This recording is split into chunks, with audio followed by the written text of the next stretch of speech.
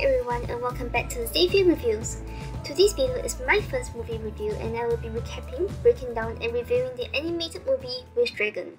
Wish Dragon was released around mid-June for the international audience. You can find it on Netflix and it drew a lot of attention from viewers for being an animated film made by a China team. It's a film that draws on a lot of Chinese cultural elements and focuses on the life of people living within the rapidly industrializing Shanghai. It features a Chinese cast and I personally love John Cho and Constance Wu, so in addition to the pink fluffy dragon that already drew me to the movie, Wish Dragon was on my must-watch list. So, did Wish Dragon live up to its expectations? Well, stick with me and let's find out. It's a story about a peasant man, a princess, and a wish-granting genie. Now you might be thinking, hey, that sounds like Aladdin. Wish Dragon is indeed inspired by Aladdin, and Aladdin was a story that originated from China. The writers have talked about this, and there has been a lot of discussions about that, so I'm going to spare you this discussion. Feel free to watch any of the other videos, and honestly, I like the retelling of a story in a new context.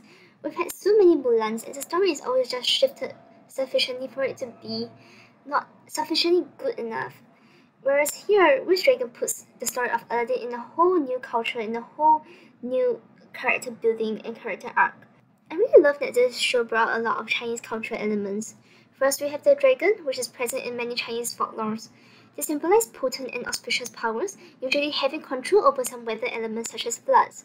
Dragons are also the symbols of good luck for people who are worthy, and was often associated with Chinese emperors, which is why this particular Chinese animal was so appropriate for a tale on worthiness and greed. I imagine the dragon was going to be like this, which is why I absolutely love how they put a new spin on Chinese dragons. Long is pink, fluffy, and has the most adorable paws and a sassy attitude. One of my favorite parts of this movie was the lion versus dragon fight.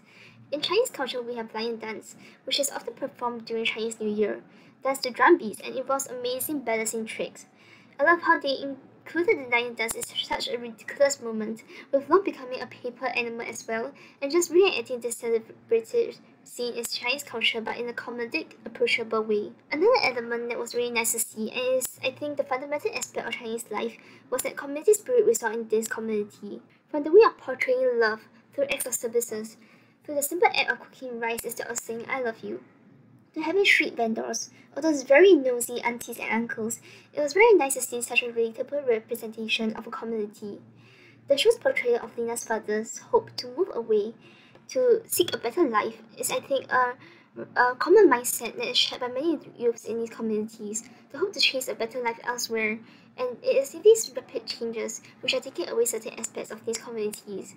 For example, one of my greatest worries is that in the future, we will no longer see street vendors, night markets, or for Singapore, hawker centers because so many workers are getting older and these jobs aren't attractive to the younger generations.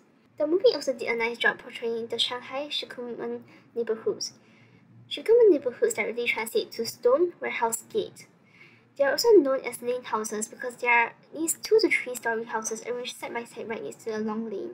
They are traditional buildings with a combination of traditional Chinese architectures with Western influences. They used to be very popular in the late 19th er, to early 20th century, but today very few people live in these houses because of rapid development and population growth, so many people live in high-rising apartment buildings. Overall, I love the portrayal of the street views. They are a bit empty and surprisingly widely, but they are still a really great attempt to portray the street views in Shanghai. There were also many historical and cultural elements which were shared rather briefly within the show itself. There was the terracotta army, the use of jade pot, because jade was such a favorite element for many emperors. There was prawn crackers, which I'm not exactly sure why they chose prawn crackers specifically, but it is a good and popular snack, and it was nice to find these little Easter egg moments in the movie. One thing about the movie that I really want to talk about is the use of Chinese instruments, which was just great. It was a really nice touch that Wish Dragon used Chinese instruments in within a Chinese film, which is surprisingly rare for Western portrayals of Chinese movies. And they did switch up a bit by putting the Chinese instruments through synthesizers, but you can still hear quite distinctly the Chinese instruments in their music. So there were a few Chinese instruments that they used.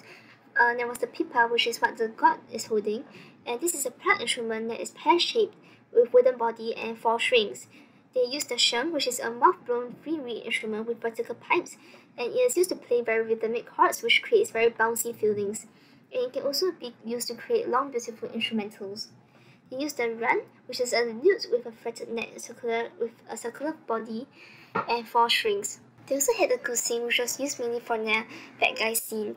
And this is instrument is one of my favorite Chinese instruments. It's a long horizontal pluck string instrument and we see uh, in a lot of Chinese wuxia or xianxia films. They're very elegant and uh, portray really really nice sounds. Something that I didn't really like about Wish Dragon was the antagonist, because the antagonist wasn't really someone who contributed to the story plot. Without him, I think that they would still have realized that he was wrong eventually, and Lina and her father would still have returned to the community. The only major contribution was showing that Lina's father was still kind-hearted, so by, by creating this antagonist, they allowed Lina's father to not play that bad guy role. And but yeah, because the antagonist was so um one-dimensional and not particularly useful to the plot, I wasn't really really invested in the final fight sequence at all because there was no reason to doubt that the bad guy would fail and Long's sacrifice was quite expected as well. One thing I did enjoy however was Long's insistence on returning to the mortal realm and arguing with an immortal. It was a very cute moment. Having said that, one thing that I was a bit confused about was Long's agreement with the immortal, having to serve another 10 masters before returning to the spirit realm again. I get that the writers wanted to portray just the extent of Long's learnings and sacrifice to show how much he has changed, but the whole point of him having to serve as a wish dragon was to learn the meaning of life, which he did. So is his other 10 extra masters just a punishment for him? The movie could have ended with Long just returning to grant the third wish for Din.